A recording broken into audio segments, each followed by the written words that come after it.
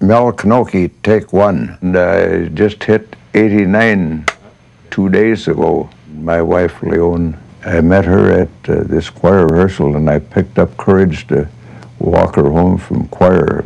She must have impressed me because I've been doing it ever since. Of course, she's just lucky to have a guy like me, but I'm a hell of a lot luckier to have her, I can tell you that.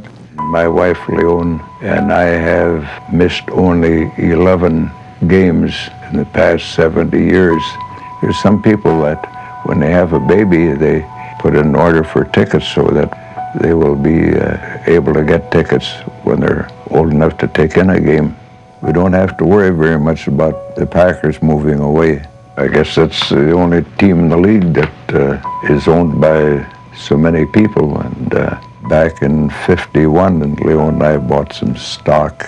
Is $25 a the stock.